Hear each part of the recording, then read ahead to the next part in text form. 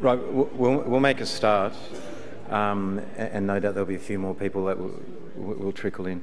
Um, and, and, thanks for coming back for the second session, which um, will be on, on trade policy in a changing global environment. But, but just before we move on to that, just another housekeeping issue. We do have a mobile telephone that's been uh, found and a parking voucher. So uh, if either of those items or both of those belong to you, please go see uh, Cheryl Brown at, at, registration. So I'll introduce our next speaker, uh, Sara Wyant, who is president of the AgriPulse Communications. As a veteran farm policy reporter, Sara is well recognised on Capitol Hill as well as within the farm and community associations across America. Her newsletter and website, AgriPulse, includes the latest updates for on farm policy, commodity and conservation program, trade, food safety, rural development, and environmental and regulatory programs. Sara also publishes an early morning news summary called Daily Harvest, providing busy readers with a quick overview on the latest farm, food, and rural policy news. In 2015, Sara was named in the annual Folio magazine in their section on entrepreneurs category as one of the top women in media. Sara gained a first hand knowledge of crop and livestock production whilst growing up on a farm near, I'm, I'm apology, my apology for not being able to pronounce this, in, in, in Iowa, and is still involved with her farm, family's farming operation. She and husband Alan parents of sons Jason and Jordan also own the farm where her husband's family originally established a homestead near Alma, North Dakota. Sara's keynote address is on the outlook for US and global agriculture policy post Trump and other global political changes. Again, please interact, ask questions. Either we'll have roving microphones or use um, the availability of texting 0411 564 128. Thank you, Sarah.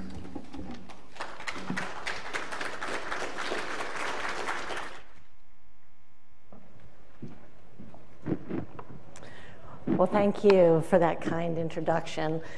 And thanks for inviting me and Rosemary and for all the organi organizers and the sponsors. I really appreciate the invitation to fly across the pond for 20 hours or so from our offices in Washington, D.C., and in central Missouri to talk to you about the environment for trade under the Trump administration.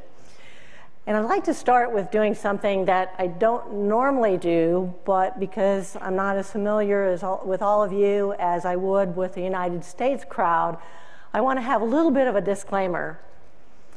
And that is because I am a journalist and I am the founder of AgriPulse with a team of journalists in Washington, D.C., that, as Stephen mentioned, produce informational products.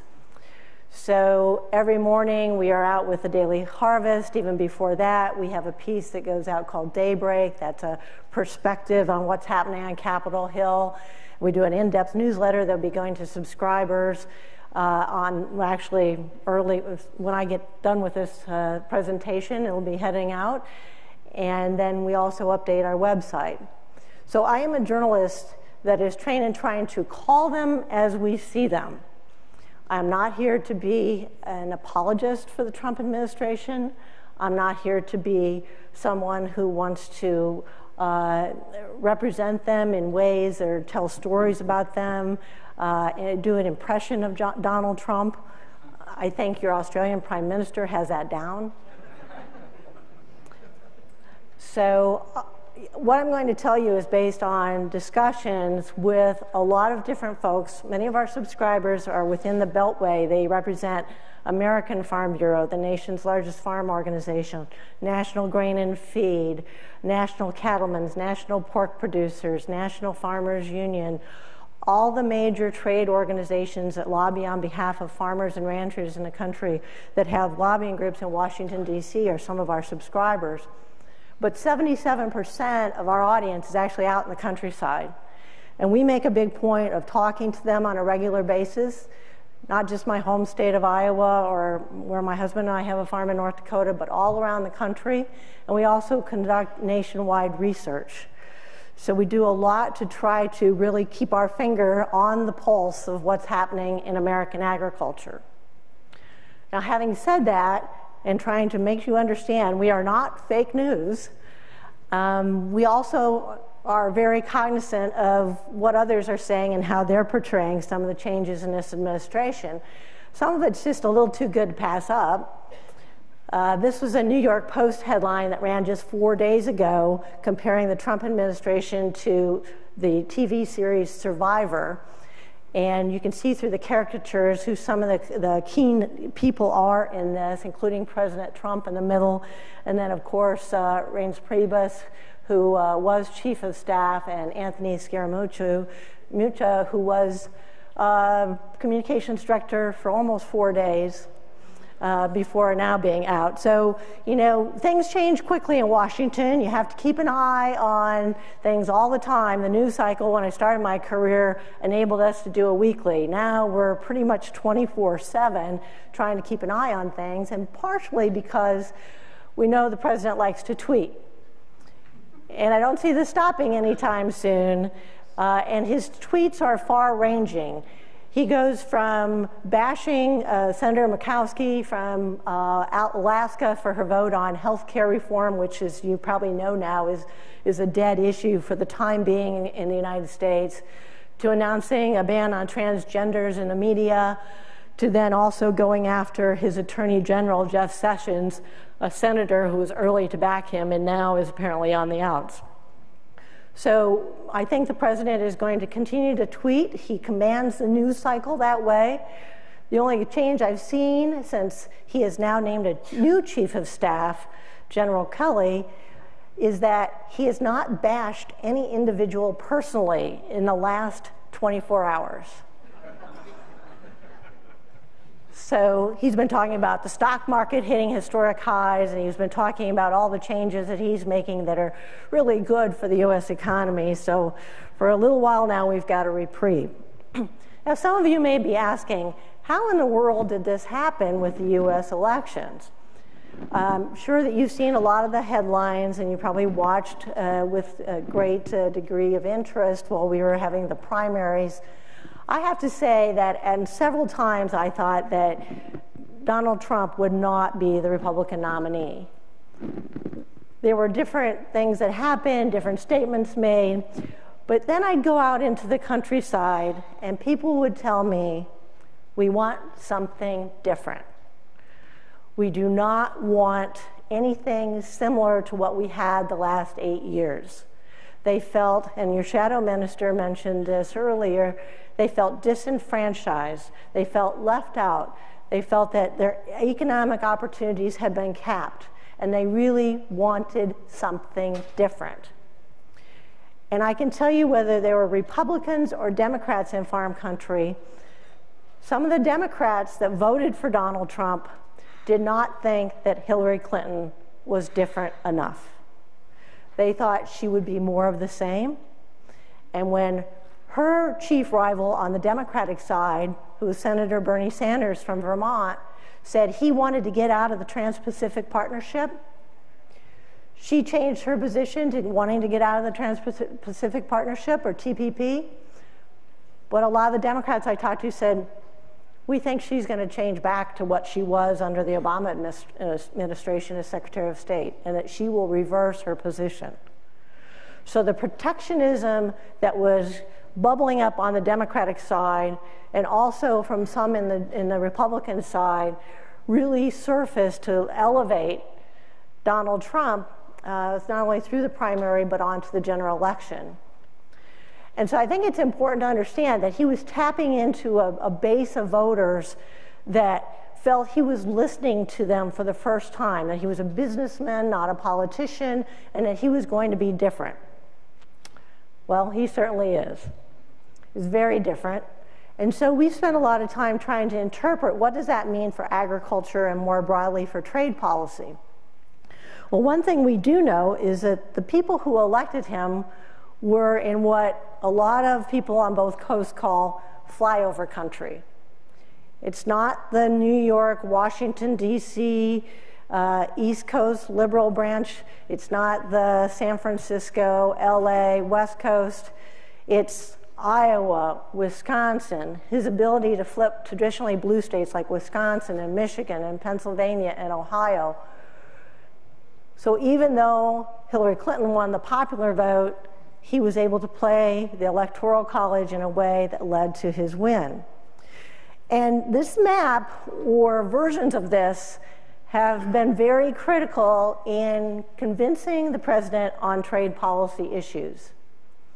Because when he gets into a position where he says, well, let's scrap the Trans Pacific Partnership, people say, okay, but let's think about what does that mean to the farmers and ranchers.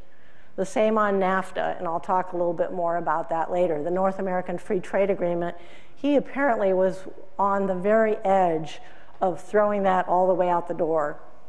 But some of his advisors brought in a map to show who was going to be hurt by a decision like that to totally withdraw. So we're going into renegotiation. So on the campaign trail, then candidate Trump did not do a lot to offer specifics. The ones he did offer were very broad brush promises. And if you ever went to a campaign rally, people could chant these out like, you know, they were, they were their um, long held beliefs. He was going to build the wall, secure the border. He wanted to temporarily ban refugees, bring manufacturing back to the U.S. Again, he's speaking to that base of voters who felt they were disenfranchised by a previous administration. We already talked about withdrawing from TPP and renegotiating NAFTA, repeal and replace the Affordable Care Act, a key campaign promise which now has just lo looked like it's stalled in our Congress, and I can't see it coming back any anytime soon.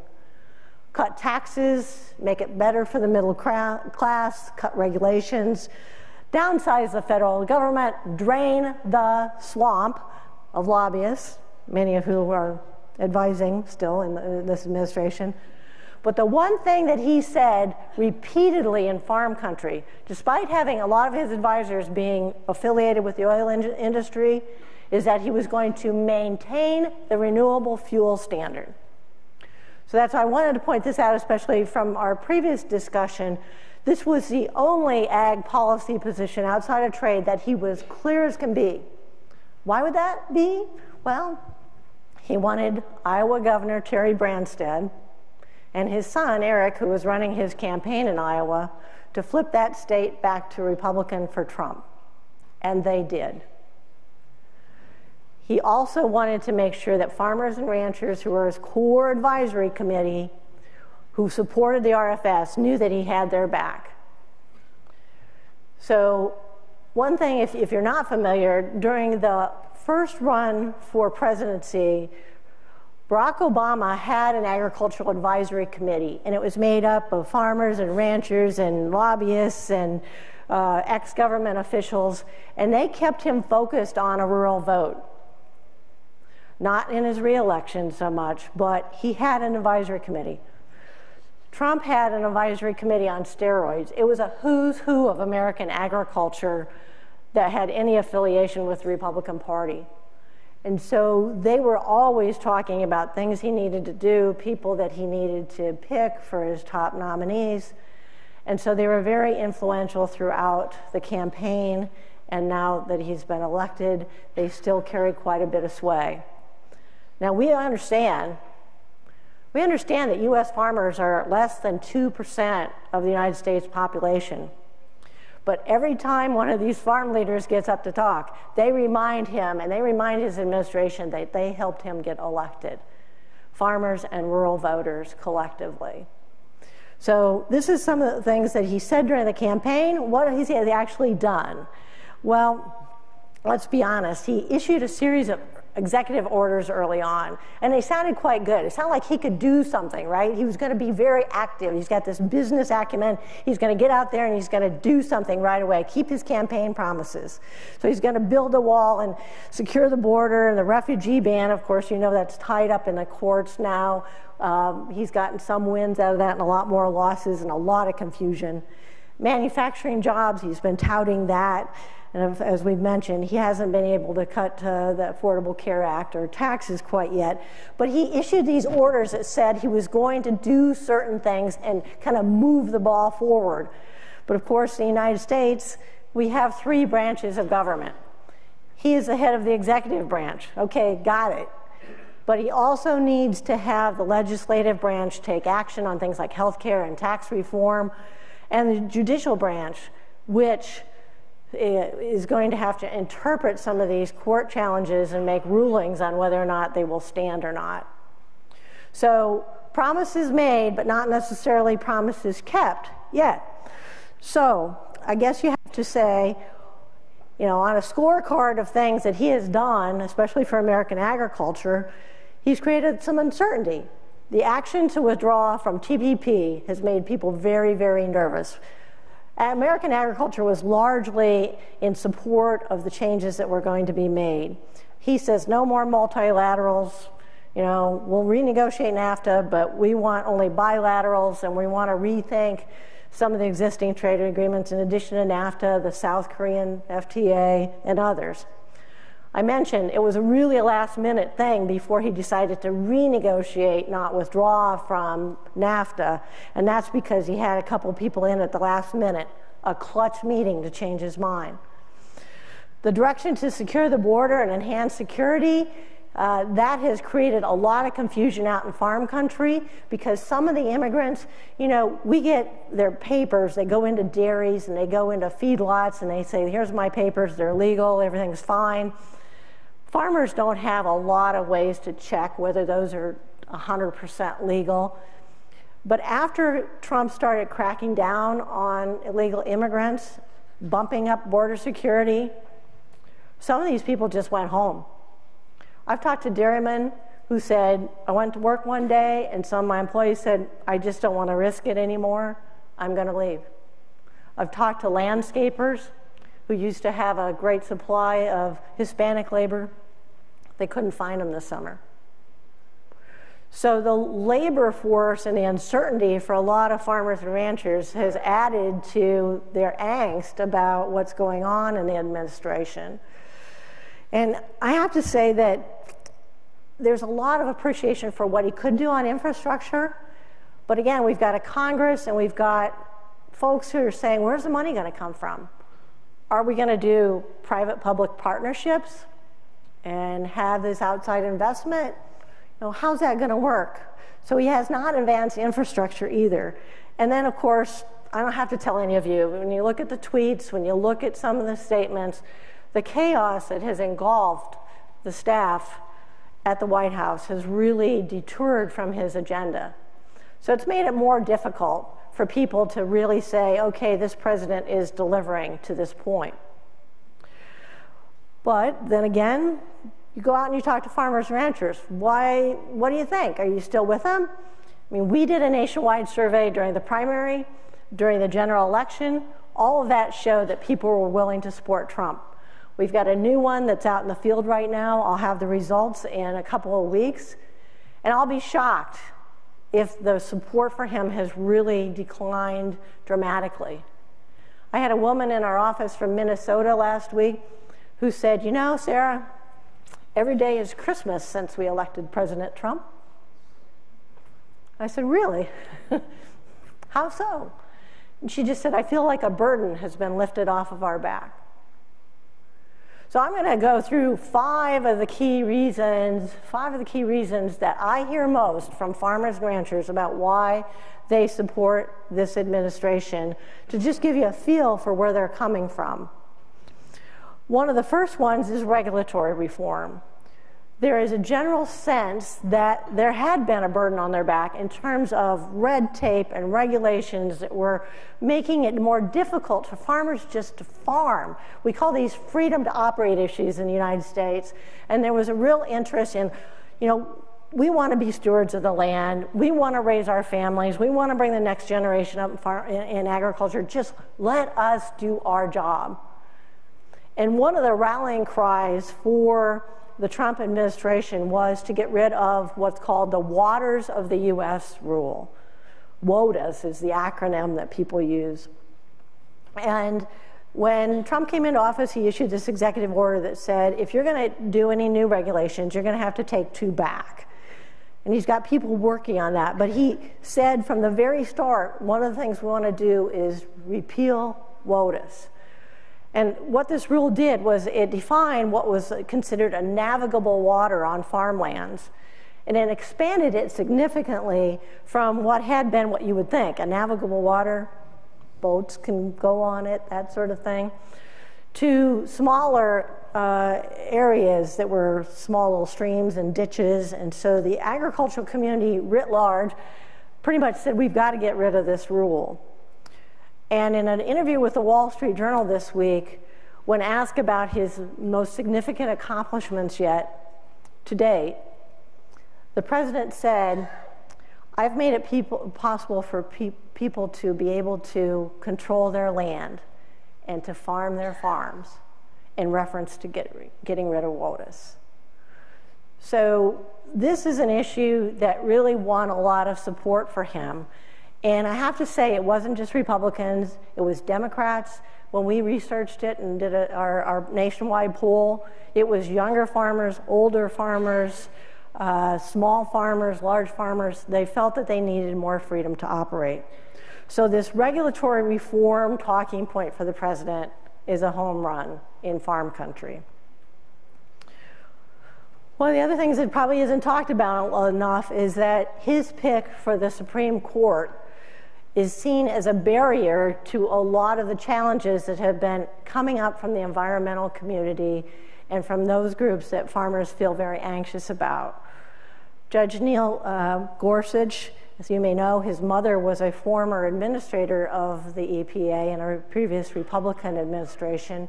He is viewed as a constitutionalist who wants to interpret the law as it's originally been written and intended under the Constitution. And he's viewed as a very important member of the Supreme Court that will uphold some of these challenges that have been coming up through agencies. Uh, and I'm sure this happens in, in your country and others, but what had been happening increasingly in the United States is that an agency like USDA, the Department of Agriculture, or our Environmental Protection Agency would issue a rule and then it would be challenged by some groups who said, oh no, we can't have those kinds of pesticides being applied on farms and ranches. It's too dangerous. And instead of the EPA coming back and saying, oh, well, we've got science on our side, we think we're good, we're going to still do this, the challenge would come up through the courts, and oftentimes the agency would back off. So having the ability to appoint not only the Supreme Court justice, and I don't think this will be his last one, but federal judges and to stack the courts up with people who are more friendly to the business community is seen as a big win for the administration.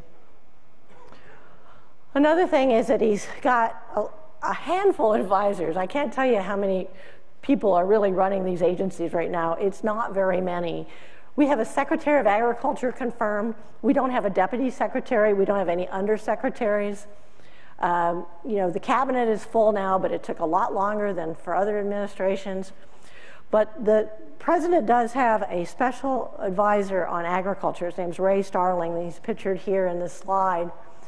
And I have to say that when you see what Starling has done, he reports to National Economic Advisor Gary Cohn, and when you see Sonny Perdue and you see Wilbur Ross at Commerce and you see some of these people talking, you get the vibe that it's a much more entrepreneurial, quick working administration than you've seen in the past.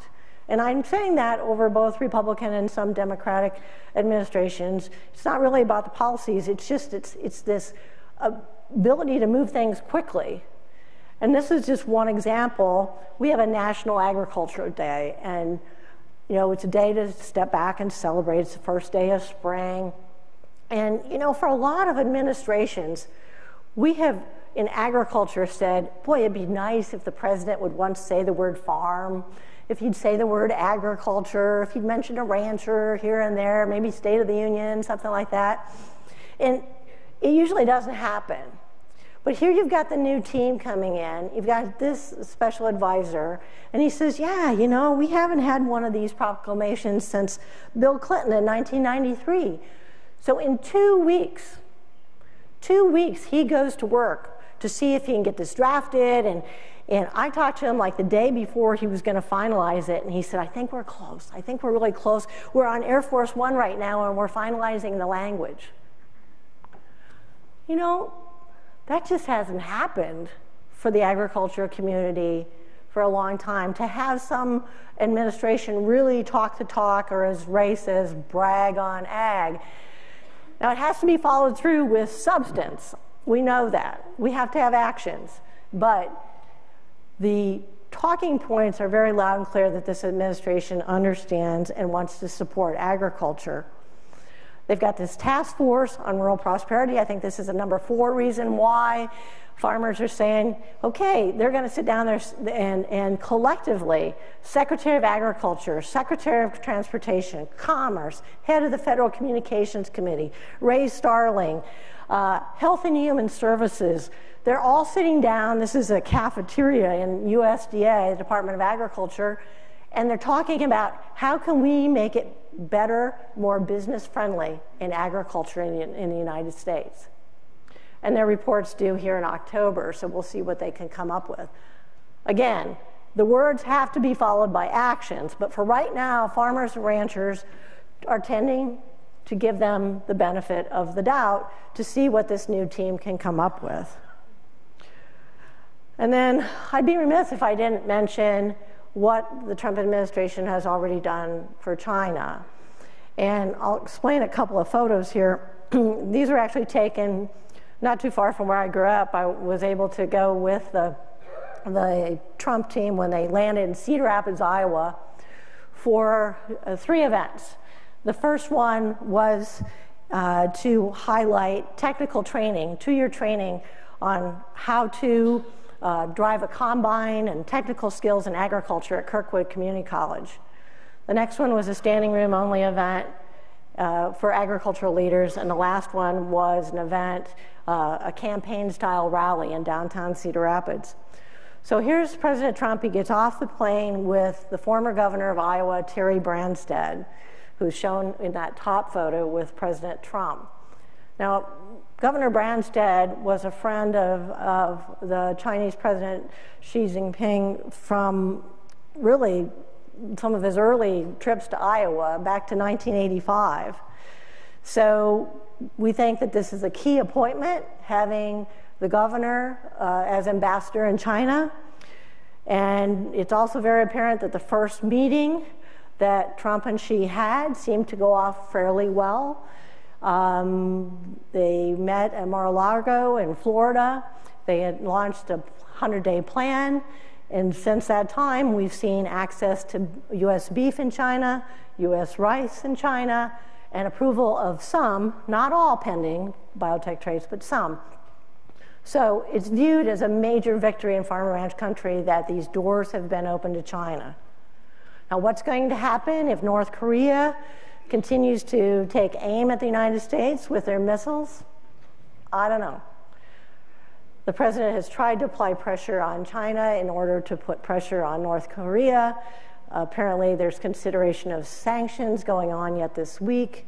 I wish I knew the answer to that, and I wish it did not involve military action, but um, there could be some decisions made that make this whole situation and environment, the early love between uh, the US and the Chinese, not be as strong.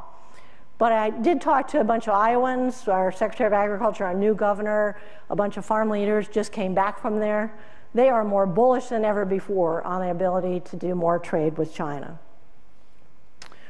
But farmers aren't all happy campers. You know what's happening with commodity prices and we've got net farm income headed in the wrong direction, down to 62.3 billion. It's about a 9% drop. There's that nervousness that, you know, a few years ago they were making a lot of money. Farmland prices were going like this, cash rent prices were going like this, incomes were going like this, and now the trend is the other direction. So there's a big concern out there that if we don't get these trade deals moving forward and if we don't keep the feet under the fire of the administration that other countries like Australia, like some of the other folks that are able to fill that void, whether Ukraine or South America, will step in. And so that does have the farmers and ranchers a little bit on a nervous edge here as they look at how to judge the administration. And of course, uh, some of your previous speakers have already talked about this.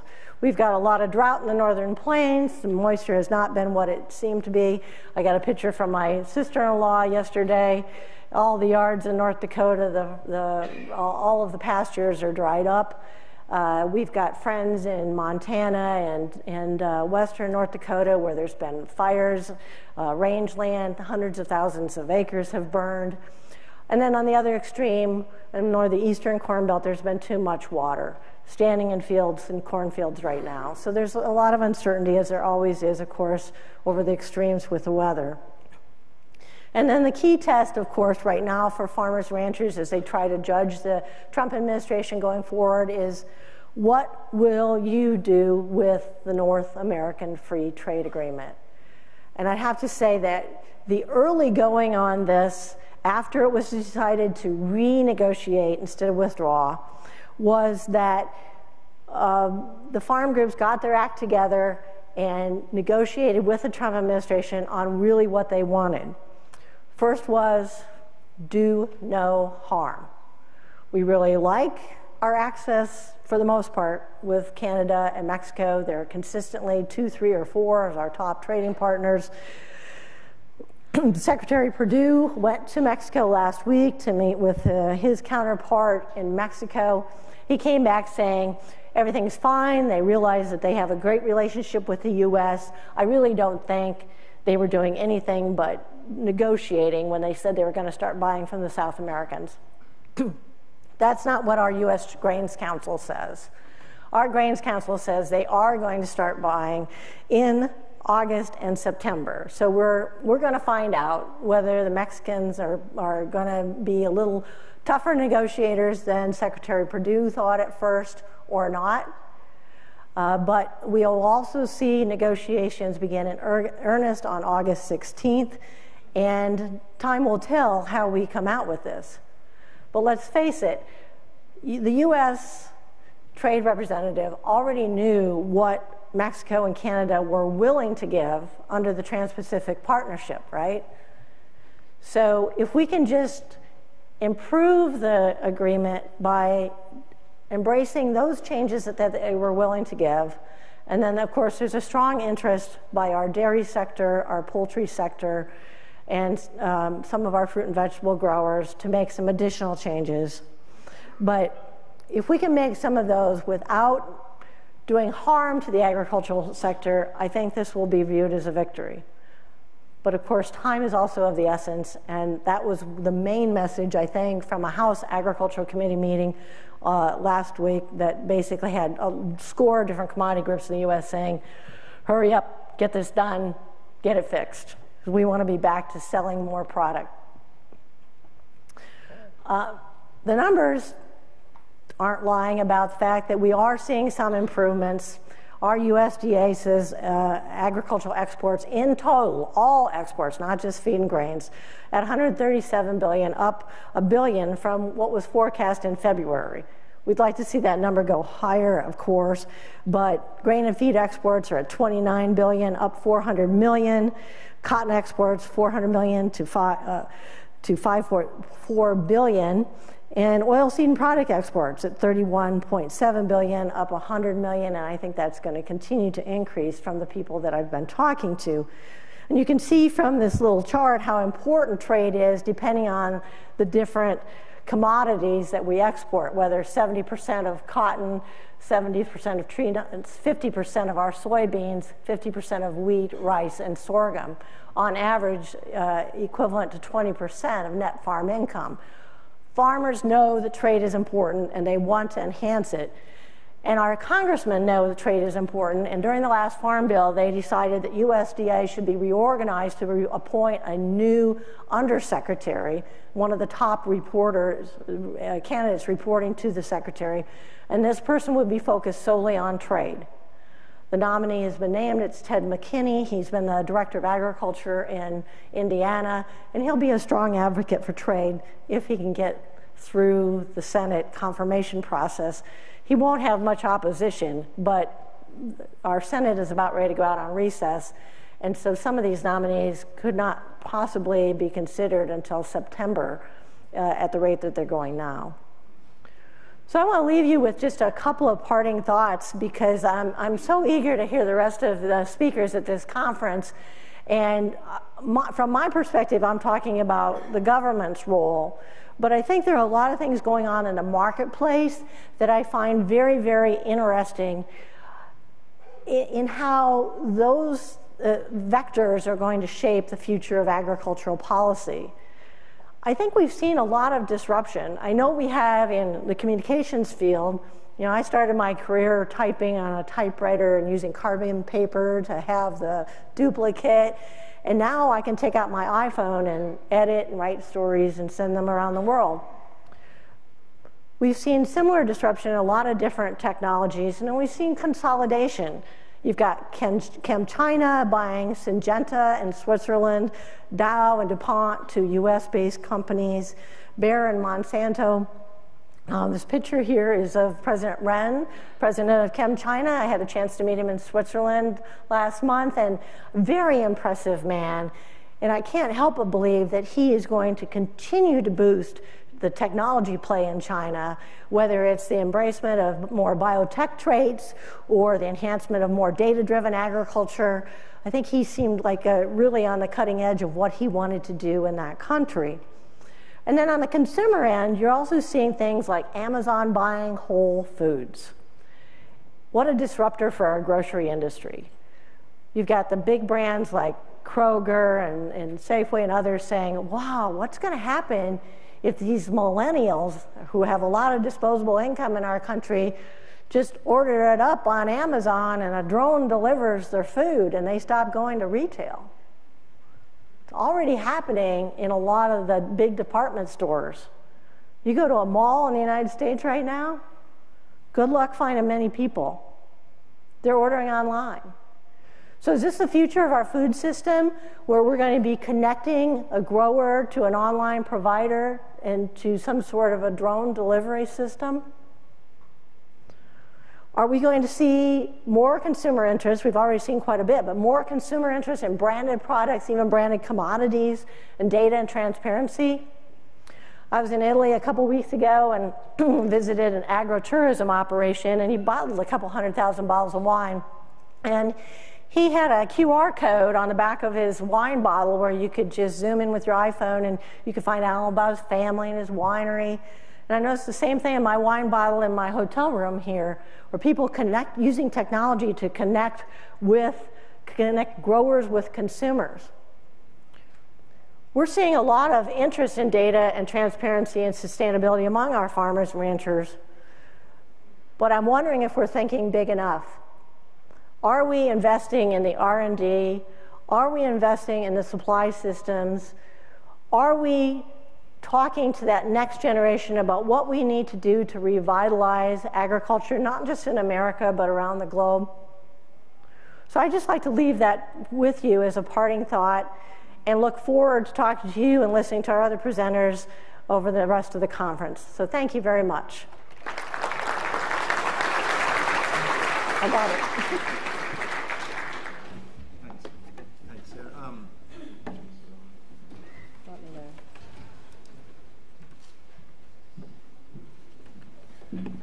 Thanks, Sara. Um, are there any questions that we have for Sara from the audience? Um, Pat, do we have a, microphone? If you could please introduce yourself. Thanks, Sara. Uh, I had the privilege of going through those flyover states just a few weeks ago and um, driving through them, not flying over them. And uh, I concur with yeah, you, what you put up there. Um, oh, sorry, Jeremy Critch is my name. Uh, I think one of the issues we have with you talking about the millennials and trying to communicate with the consumer is a lot of the time they don't look at facts and science uh, unless it supports their, their argument. in Australia, for example, at the moment, South Australia can't use GM canola, even though all the science says that it's 100% safe. And then the consumer will look at climate change and say, yep, we agree with science. So they just pick and choose what science they want to agree with. How do we handle that? How do we deal with that? Uh, I would say that your concerns mirror much of the United States. And in fact, in the US Congress, we have people who say, you know, we have to deal with climate science. we are seeing climate change. How can you be a climate denier? And then on the other hand, you'll have people say, well, we have biotechnology that can solve a lot of your climate issues. We can be more sustainable. We can, you know, so the science seems to be in the eye of the beholder for a lot of people. I would certainly agree with you on that. But I do think that there are um, generational issues that can be overcome with greater transparency and discussion. Um, I, I have two sons. One is a pure millennial. Uh, and, you know, we've had a lot of discussions with he and his friends about, well, where did you hear that? And, and, and you know, you're entitled to read whatever you want, but let's be thinking about do you trust that source? And is it something that you think that is going to stand alone as a, as a fact after you've researched this? And, and I've been very pleased to see by having some of these discussions and opening up, you know, farms and access to more information that we've been able to, to change some minds and to find some more middle ground on actually what, what is a, you know, a sound piece of science. So I, I do think it's possible, but I think it, it requires a lot of communication and education uh, on both sides, and people willing to not be so set in their ways that they're, they're not open to that there might be yet a third way, a second or third way. Pat, Pat, yeah, sorry, just the middle. Hi, thanks, Sara. Kate Burke from Think Agri's um, who I am. My, my question to you is uh, if there was one difference to describe the impact of the, or the way Obama, um, the Obama administration ran agriculture compared to the way the Trump administration is running agriculture, uh, could you describe the major difference, I guess, and the impact that that does have on the people in, say, North Dakota and Iowa? Oh, and probably not a short answer. Um, but I would say that the Obama administration had a lot of very talented people as well. Uh, Darci Vetter, the U.S. trade negotiator, Tom Vilsack, our Secretary of Agriculture. Uh, but there was a, a, frustration, I think, even from some of them that, um, you know, there, there, was, there was not an ability to move the ball perhaps as far as they would have liked to open up new trade uh, avenues and to, um, and that's not necessarily uh, the president's fault. Uh, it has to deal with a lot of other factors, but you know they were supportive of the Trans-Pacific Partnership, and I think they would have liked to move quicker and just get it done before the Trump team came in. But they couldn't because there was a reluctance among several people in the party to go forward with that and make it even tougher for Secretary Clinton to advance. So that would, that would be one thing that was different. Um, the other is, of course, the administrator of the EPA became kind of a target, a whipping girl, so to speak, um, for the agricultural community because of the positions on WOTUS and the position on many crop chemicals. And so that was not viewed favorably. But um, there were a lot of things that the administration, as I said, they, they, they really had some good people trying to advance and expand markets but perhaps not as at the speed and the, the coordination that um, we've seen in the early attempts from the Trump administration. Uh, whether they'll be able to continue at that pace, I don't know. But I did think it was interesting when I'm sitting there watching people get off Air Force One, and you've got national security, you've got commerce, you've got Perdue, you've got an ag advisor, and they're all with Trump, with Branstad, uh, and and they all go back on the plane, and they're all still meeting throughout the night on their way back to Washington, and you know they're they're really impatient. I think we, we've time for one more question. Just uh, Angus Thornton from uh, Pro Farm Australia. Look, I think one thing that has been agreed upon uh, in the aftermath of uh, Trump's election is that it was a reflection of increasing polarisation uh, amongst the electorate, in which uh, you know personality and image was probably more Im- important than ever.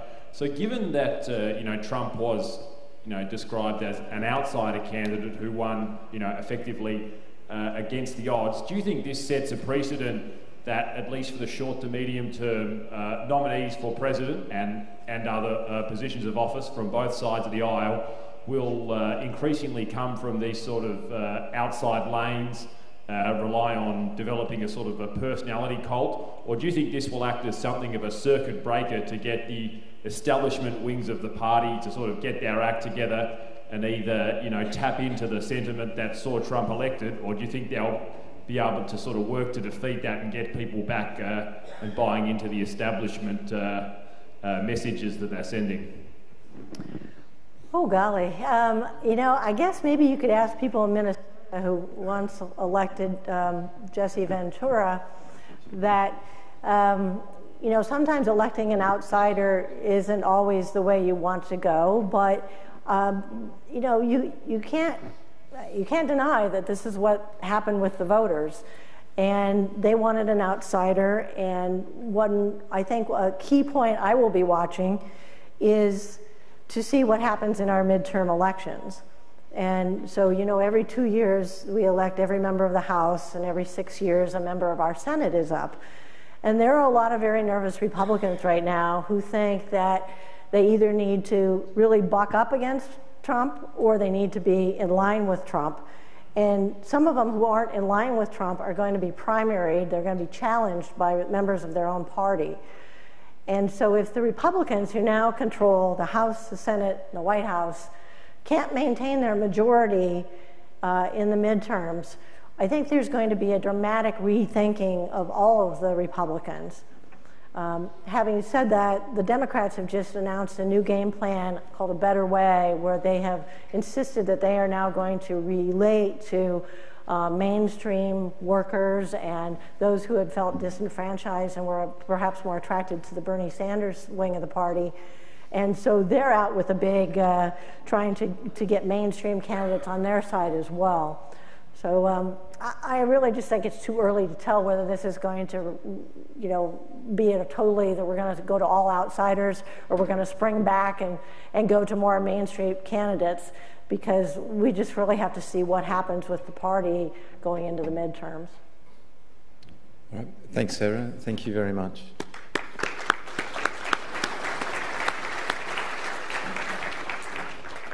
Right, we'll move now on to session three, which will be a keynote address by John Wagner, Director of Brisbane Westcamp Airports and Wagners. John, along with brothers Dennis, Neil, Joe, established construction materials and infrastructure company Wagners in 1989. As one of Queensland's most successful family owned and operated businesses, Wagners built Australia's newest airport Brisbane West Wellcamp Airport, the first greenfield public built, sorry, private built public airport since Federation. John and his brothers built the multi million dollar airport, which opened in late 2014 to create connectivity to the Darling Downs region as a long term multi generational asset. The airport services around 74 weekly flights into and out of the region through airlines Qantas Link, Air North, Regional Air Express, and Cathay Pacific.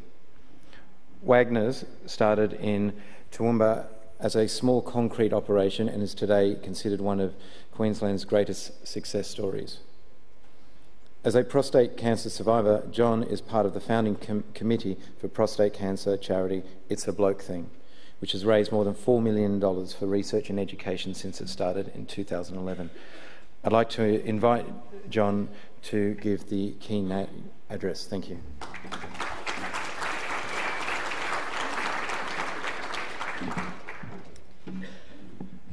Uh, thank you very much. And, and uh, first of all, um, uh, around the room, I see a number of familiar faces that use Wellcamp, and I'd just like to particularly thank those people for supporting us. And uh, without that regular travellers to Melbourne, Sydney, Cairns, and Townsville, um, we wouldn't be able to maintain the airlines there. So thank you very much.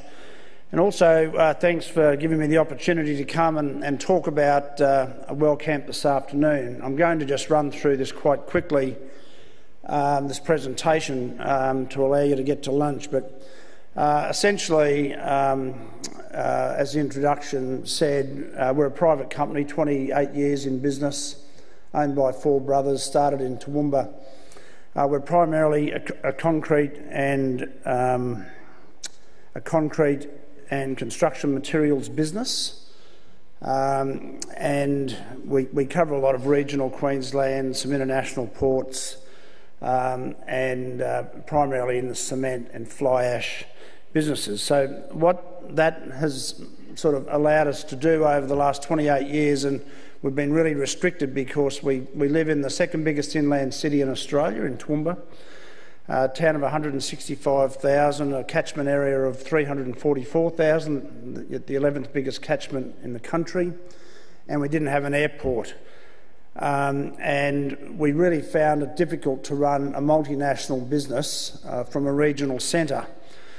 Um, you know, we would have our international clients, people like Bechtel from the US, that would, would say, you know, which airline runs to Toowoomba? Well, the best we could do was uh, a Greyhound bus for those people. So we got very frustrated um, and we were very vocal advocates for turning our local Defence Force base, Oakey, into a multi-user facility. And Defence just kept saying, no, no, no, it's not going to happen.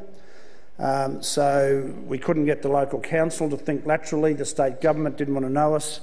So we decided to um, take the project on ourselves and um, we started to, to build the Wellcamp Business Park. So it's a five-star business park.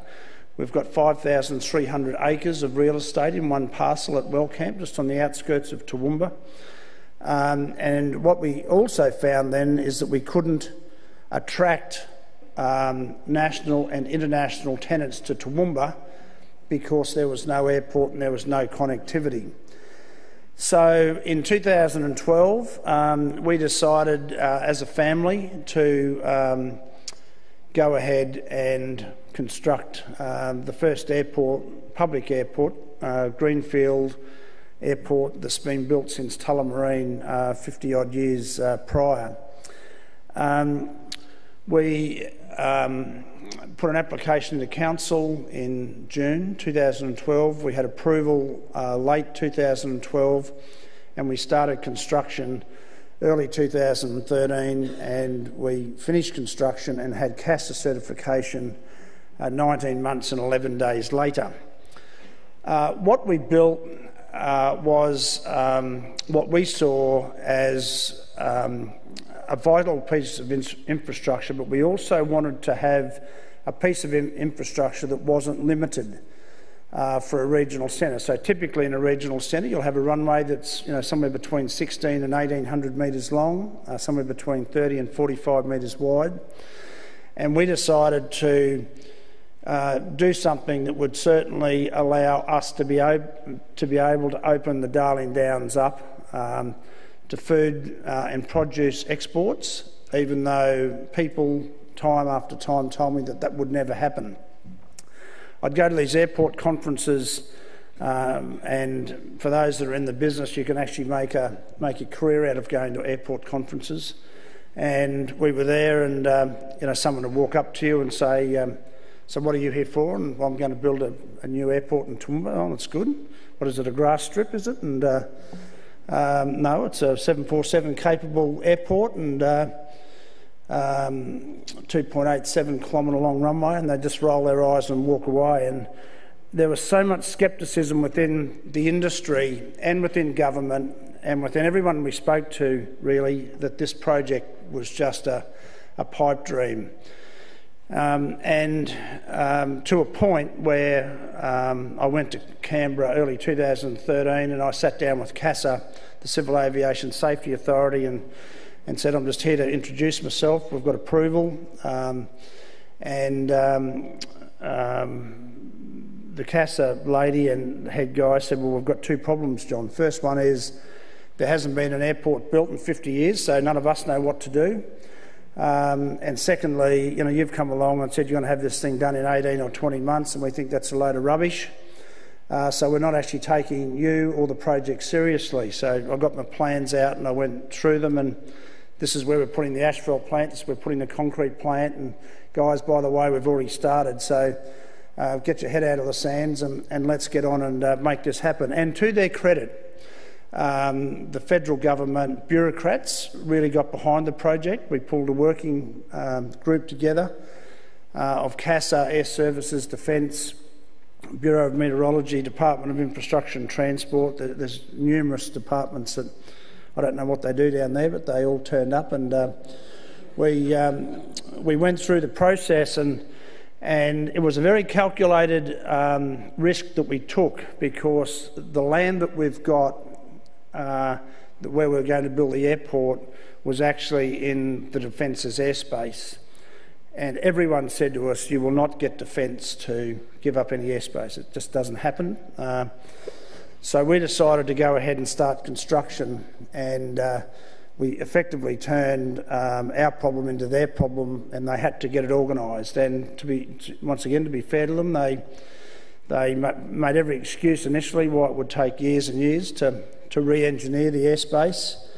Um, and you know, I used to run the line that listen, we put men on the moon in the 60s, so surely you people can sort something in two or three months. And it took them five and a half months, but still it was a good effort, and they've got a good result, and so have we.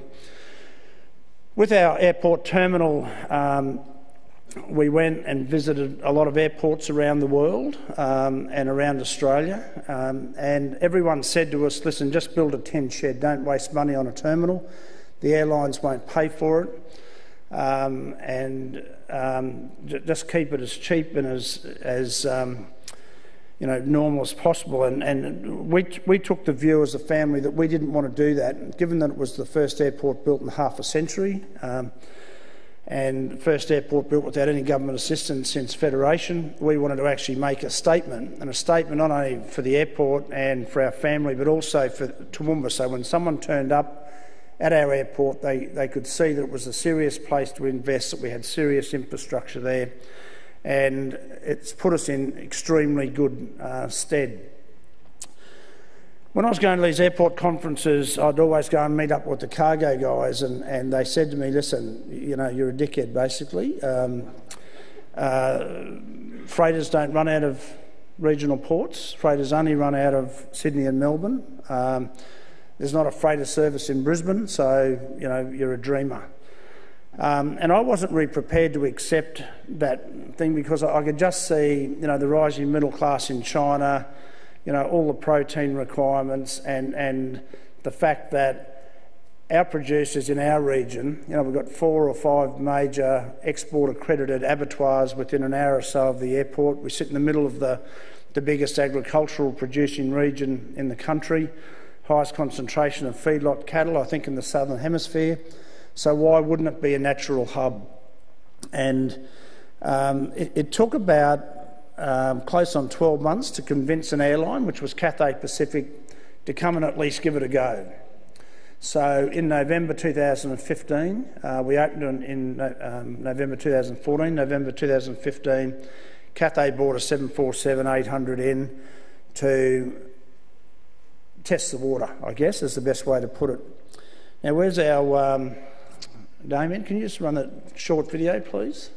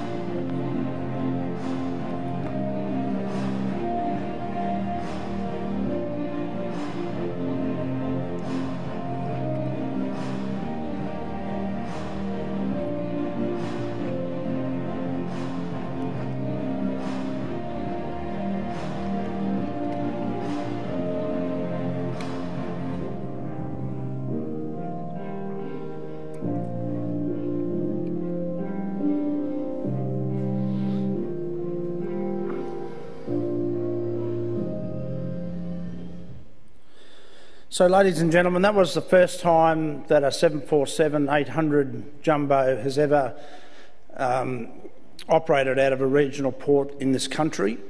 It's the first time a 747 800 has ever operated out of Queensland, ever. Um, and now, uh, 12 months on, we have a scheduled freighter service that comes in every Tuesday uh, and, and takes uh, a whole range of products up to Hong Kong. Uh, from Hong Kong, it gets delivered to US, uh, Middle East, Bangkok, UK. And it's absolutely amazing what, what goes um, in the middle of those aeroplanes. We expect um, and are confident that we'll get two a week uh, in April. Um, and I think ultimately, within a couple of years, we'll be seeing at least one aircraft a day running out of uh, our airport up to Asia. The demand is certainly there. The demand for uh, dedicated freight is rising exponentially. Um, the people, certainly in our region, now have got a conduit that they can get their produce out and get it out quickly. Uh, we, we are trying to convince the federal government, and I think we have them got convinced. I, I see um, Joel here. Uh, he's on the wrong side of politics at the moment, unfortunately. Um, to realign inland rail to come via the airport. And what we've committed to the federal government is if they do that, um, and we believe that there will be the route will be finalised shortly, that we will commit to build a $60 million multimodal facility. So that's road, rail, and air at Wellcamp. We have uh, four kilometres of rail frontage uh, on our property. Uh, and we believe that what that will do is open up the whole of sort of that central eastern Australia for, for fresh produce. The, the service offering that Inland Rail has is Melbourne to Brisbane in 20 hours on 1.8 kilometre trains, double stack containers. So, you know, from northern Victoria or southern New South Wales, they're up to our place in sort of 12 or 14 hours and can be uh, repacked. Um, onto an aircraft and up in, up in Asia sort of uh, eight or nine hours later. So we believe that with this vital piece of infrastructure, um, particularly with inland rail, the second range crossing, and the demographic we've got in our region, we believe that we can really make a difference to the agricultural sector in this country. And I think what it has done, um, and we now have uh, four MOUs with councils that want to link their airports with, uh, with Wellcamp. Um, and it's really starting to get a lot of momentum now where people can see that they can use this piece of infrastructure to join up their particular airports and their regions uh, to lift the whole agricultural production. So, um, just to close, it's absolutely critical that we keep, as a group, um, and as a nation keep pushing the federal government to get serious pro- projects like Western Sydney Airport, uh, which can be another major freight hub. Um, you know, get on and build this stuff. Stop talking about it. Stop doing reports. Stop doing reports on reports on reports and procrastinating. Get in and, and really get this, uh, this whole infrastructure thing happening. So I'd just like to leave you with that thought and thank you very much for taking the time to listen to me. And uh, if ever you're up in Wellcamp, we'd certainly um, be very happy to, to show you around and show you what we do. Thank you.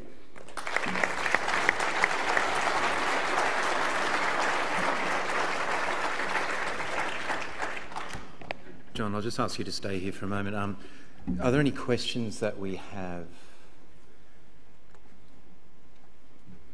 It's shy bunch, so, eh? They are shy bunch. So, so let me start the ball rolling. How, how, are, how are your plans going, progressing for this Badgerys Creek project? When do you start? Um, well, well, we um, made a public statement that we can, we can build Badgerys Creek in well under three and a half years from a, from a standing start. Uh, the federal government uh, are appointing Western Sydney Airport Limited, um, and uh, they will have an independent board and independent management that will actually run the process. They've got an early works package coming out later in this year to shift the cemetery, shift the road, shift the high voltage power lines, um, and then effectively the airport will be ready for construction. Now, you know, the slated number is $5.4 billion, and uh, we've had Paul Fletcher, Malcolm Turnbull up at Wellcamp, and, and um, there's actually no rocket science with building an airport. There's a job of work to do, um, and you know they're relatively complex, but it's not that difficult. The thing that's become very apparent, though, is the feds don't really know what to do, and their consultants uh, know even less. And I think one of the reasons, in my view, why Sydney Airport didn't take up the concession to run Western Sydney Airport because the consultants just had fat on fat, uh contingency on contingency, and got to a number like $5.4 billion. And it just doesn't stack up at that. But you know, I think the number uh, is is less than half of that is what the, the true cost is. And the way that I worked that out in my truck driver brain is um, Western Sydney Airport. Uh, their runway is 700 metres longer than ours. Uh, our, our runway is A380 747 800 capable. Um, so it's a code F runway, same as Western Sydney, but another 700 metres. Ours cost 80 million uh, to build. Um, so that's double it for the extra 700 metres, 160 double it again, 320 double it again, just just for you know for good good uh, luck. Uh, our terminal costs 31 million, um, 10 times the size for Western Sydney. Uh, car parking is similar, two and a half thousand car parks. Um, so go 31 million by 10, um, 300 million, double it, and then double it again, then double it again. You, you just can't get to 5.4 billion dollars. Just it just it's just not there. So, you know, our view with the feds is just let us get in and build it, and we'll give you a fixed price for a design, construct, and operate. And when you get into power uh, later next year, you'll be able to take up the, the there, Joel. Um, but we just need to get on and do this stuff. It doesn't take 10 years to build an airport. You know, it's already approved. So. And are you saying that people would have arrived here on time today had you been in charge a couple of years ago? Uh, no, this is Melbourne. No, uh, from Sydney, from, from leaving from, from Sydney. From Sydney, so, yeah. As some of you may realise, we started late because uh, the planes were a bit slow taking off from Sydney. So if we had you in charge. Well, it's actually an interesting point. It wouldn't have made any difference, of course, was, Melbourne was fogged in. But Melbourne Airport, their terminals are now at capacity right now. Their runway will be at total capacity by 2020. So that's four years away, and they haven't started planning for a second runway. It'll be end up like Brisbane, who got to capacity, then they decided to put another runway in, and it'll be ready in another four years' time, I think. So um, the lack of planning for these big pieces of infrastructure is a is a, a critical issue. So that's my humble opinion. Time for we've got, oh, we've got time for a couple more questions. Sorry, Peter, I've jumped in, mate. sorry, sorry. Put it down. Sit down, mate. Sit down. Uh, Todd Lees, Latima Brokerage. Uh, thanks, John, for your presentation. It was certainly an inspirational story. Uh, I'm guessing that uh, the mining sector played a significant part in your feasibility study of the airport. I'm just wondering, with the downturn in the mining uh, sector, particularly in Queensland, uh, how have you managed that uh, eventuality? Uh, well, it wasn't a big factor because we didn't do a feasibility study. Um, and the reason we didn't do a feasibility study is because we didn't know what it was going to cost, and um, the airlines didn't want to talk to us because there hadn't been an airport built in half a century. So they just said, well, you know, we don't really know how to handle this. Um, so we decided that we felt that we had the demographic in our region, given what I've said before, second biggest inland city, uh, biggest uh, ag producer in the country, uh, big health centre, big education centre, a, a, number of multinational businesses. We just felt that it was the right decision. And as a family, uh, we decided to do that without any commitments, without any customers, um, because we felt that it was the right thing to do for our region. And eventually, this thing would work. So, um, the mining sector uh, hasn't played a part in, in, hindsight anyway as a result of it. Uh, so we're a, a, a, services sector for the Surat Basin, the Galilee Basin, to a lesser degree. Adani's about to get going up there, uh, the Cooper Basin and the Bowen Basin. So, you know, we're not talking big numbers, This is primarily a passenger airport, and where you make your money with an airport is through the RPT operators, Qantas, Virgin, Rex, and Air North, and those sort of people. Uh, the freight is a, is a side issue, um, and an airport typically doesn't make much money out of freight, but we broke the mould in this country as to how airports are run. So when you come to Wellcamp, uh, the lady in the Qantas uniform is a Wagner person. The people on security are Wagner people. Uh, the ground handlers, baggage handlers, refuelers, we have our own tankers, um, make the coffee. Every, everyone on site is a Wagner employee. And as a result of that, we've been able to con uh, control the experience, we've been able to keep our costs down, and by having people that are multi skilled, we've been able to make money uh, and get a return much quicker than we actually ever intended that we would. So it's, it's been a quite a unique model, and we've seen other airports, particularly in regional centres now, changing their model uh, to do what we're doing. Peter. John, how long uh, do you think before we start seeing in regular inbound and outbound uh, passenger flights, and where do you think they will originate from or uh, depart for? You're talking international? Yeah. Well, let me put it to you like this. Um, at the moment, there, Australia has about 1.2% of outbound Chinese um, um, outbound Chinese tourists. And currently, order of magnitude, there's 100 and a bit million uh, Chinese travel outside of China each year. Uh, by 2024, which is six, seven years away, they expect that number to be in excess of 800 million Chinese leaving China each year. Now, when I look at the, the, the capital city hubs, Melbourne and Sydney in particular, uh, and Brisbane to a lesser degree, um, they're getting close to capacity. So I think particularly the, the Chinese regionals will start to talk to regional airports here. You know, people like ourselves, Sunshine Coast, Rocky, Townsville, Newcastle, uh, the ones that sort of come to mind.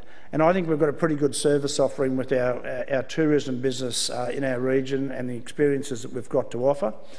So I would expect uh, within a couple of years that we will see direct flights from Asia into Wellcamp on a daily basis.